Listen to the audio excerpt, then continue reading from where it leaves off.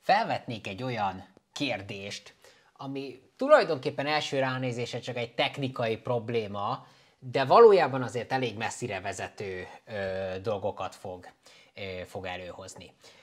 Jelesül, mit tegyünk akkor, ha a magyarázó változóink között van egy kategoriális magyarázó változó, mondjuk férfi-nő.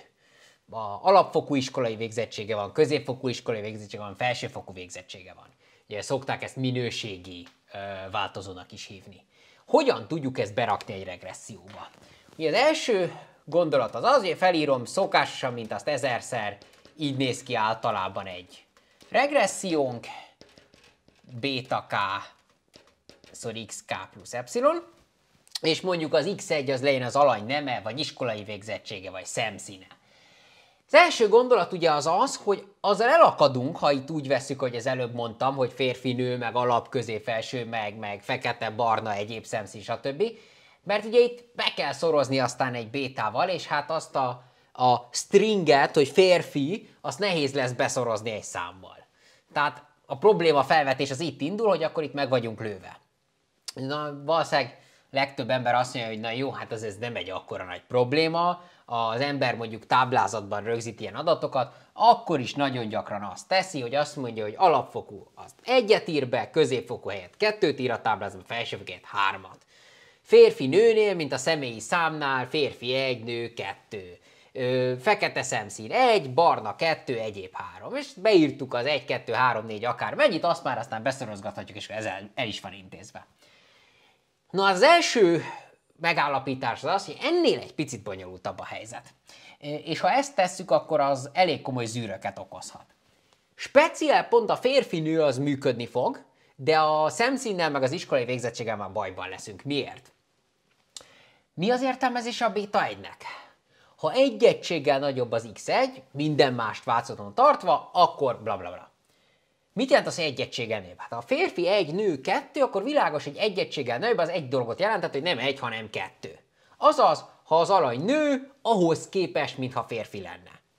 Teljesen rendben vagyunk. A béta egynek az lesz a tartalma, hogy a nő alanyoknak a férfiakhoz képest mennyivel nagyobb a pont, pont, pont, és akkor behelyettesítjük itt a konkrét kérdést, jövedelmük, akármink. Persze lehet negatív is adott esetben. De ugye mondtam nektek, ez véletlen csak, hogy működni fog a, a férfi nőnél. Mi a helyzet a szemszínnél? Barna egy, ö, fekete egy, barna kettő, egyéb három. Ezzel, ilyen módon úgy szokták mondani, hogy kódolom az x1-et, beszorzom azt egy beta 1 Na most az a baj, hogy le fog futni. Teljesen rendben lesz, és működni fog, és kapunk egy beta 1 Ez mit fog jelenteni? Egyel nagyobb. Hát ha ez egy meg kettő meg három, akkor az egyel nagyobb az azt jelenti vagy az, hogy egy helyett kettő, vagy az, hogy kettő helyett három. Jó, de most melyiket?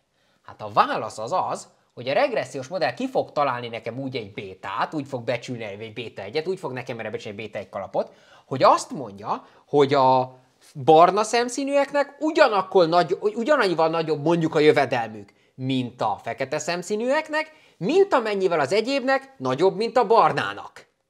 Mert az, hogy egy egységgel nőbb, és arra egy darab számot fogok kapni, az azt jelenti, hogy akkor ugyanaz a különbség van az egy és a kettő között, mint a kettő és a három között amit én marhára nem mondtam. A szemszín az nekem három kategória, lehet egy értéke, másik értéke, harmadik értéke. Én egyáltalán nem mondtam, hogy ez kötelező kell legyen, és e pillanatban nem is tudhatom, hogy ez kötelező kell legyen, hogy a fekete és a barna között ugyanaz a különbség, mint a barna és az egyéb között. É...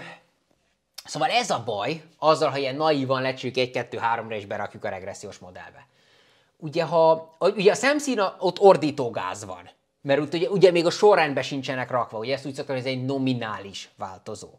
Ha a változó az ordinális, tehát legalább sorrendje van, mondjuk az iskolai végzettség, ott egy fél fokkal jobb a helyzet, de még ott is gáz a dolog. Mert bár sorrend van ugyan, hogy az alap fölötte, a közép fölötte, a felső, de az egy 2 még akkor is valamit mond, amit én nem mondtam, az, hogy ugyanakkor a távolság van, amit nem tudhatok. Tehát igazából ordinálisnál sem stimmel ez a dolog, ez egy, kettő, három, a nominális változatnál meg teljesen ö, kampó az egész. Úgyhogy nem ezt fogjuk csinálni. Hanem amit csinálni fogunk, annak a, az alapgondolata az az, hogy kizárólag olyan változókat használok fel a, a kategóriális tulajdonságom kódolásához, ami nulla vagy egy értéket vehet fel. És plusz. Ugye ezeket szoktuk dummy változónak hívni, vagy néha magyarul álváltozónak, vagy indikátornak, ez utóbbit majd jobban megértjük, hogy honnan jön. Csak nulla vagy egyet vehet föl. Na most oké, okay, de hát akkor, még a férfi nőnél nincs gáz. Akkor azt mondja, jó, akkor nem egy kettő, teljesen mindegy, akkor férfi nulla, nő egy túl van tárgyalva. Igen, de mi van az alap közép felsőnél? Mi van a barna, fekete-barna egyébnél? El kell döntenünk, hogy mi a kódolásunk, ugye ezt a szót már használtam.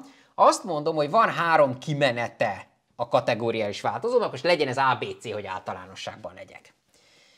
És én legteljesebb módon ehhez három változót rendelhetek.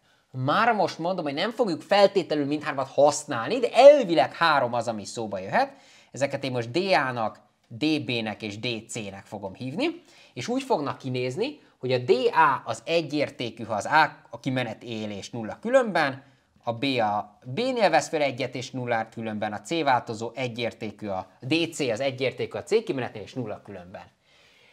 Most már értitek, hogy miért szokták ezt indikátorváltozónak hívni. Mert ez indikálja az adott kategóriát, hogy az A-ban vagyunk, B-ben vagyunk, C-ben vagyunk. Ez a kódolási tábla, és ez szerint kell lecserélni a, a, az adataimat, vagy, vagy, vagy ez szerint kó, ö, transformálom, alakítom át őket. Tehát mondjuk van nekem egy olyan design matrixom, aminek a, ugye az első oszlop az csupa egyes, a második oszlop az valami folytonos változó 12, 23, pont, pont, pont, 81, és a harmadik oszlop az az, hogy mondjuk B, A, pont, pont, pont, C. És a transformáció alatt én azt értem, hogy ezt lecserélem úgy, hogy az egyesek azok maradnak, a számok azok maradnak, Ugye ezt lehetne úgy is mondani, hogy ezeket a folytonos változókat, amik nem ilyen kategóriás, hanem folytonos változók, ezeket saját magukkal kódoljuk, hogy ezért nem kell kódolási táblázat, és ez pedig, hogy itt mi történik, ahhoz ezt kinézzük. Tehát azt mondom, hogy ugye itt van akkor, bocsánat, tehát ez, a, ez az x1, ez az ideírom, és ez az x2. És akkor azt mondom, hogy ez itt marad az x1, és ide ezt átkódolom azzal, hogy mi a DA, DB és DC Bocsánat, ezt lehet, hogy túlmagyarázom, csak azért, hogy ne valaki félrejtse, a táblázat hogy működik. B, akkor kiveszem ezt a sort, és beírom. 0, 1, 0. A, kiveszem ezt a sort. 1, 0, 0, pont, pont, pont. C, kiveszem ezt a sort, 0, 0, 1. Tessék, ezek ismétlődhetnek, be lehet egymás két darab B, és akkor ott lesz, ugyanúgy az lesz, hogy 0, 1, 0 így kell érteni azt, hogy mi az a kódolási ö, táblázatom, és jól látszik, van az indikátor változó, indikálja, hogy, egyért, hogy A-ban vagyunk, B-ben vagyunk, C-ben vagyunk. Ahogy mondtam, nem feltétlenül fogjuk mindhárom oszlopot használni, lehet, hogy majd valamit kidobunk be, ezt mindjárt megbeszéljük, de ez az, amit kódolás alatt értettem, és ez az, hogy a kódolási táblázat működik. Ha ez megvan, akkor most már csak azt kell megbeszélnünk, hogy hogyan célszerű ténylegesen, mert mondtam nem feltétlenül az összesen, hogyan célszerű egy kategóriás változót kódolni egy regresszió számára.